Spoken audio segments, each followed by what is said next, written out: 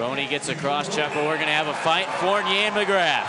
They fought in the ECHL, and here they go again. They take center stage.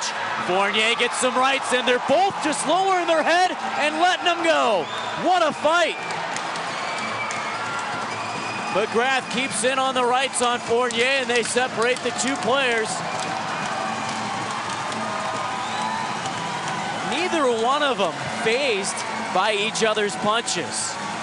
They each lowered their head, kept the rights moving,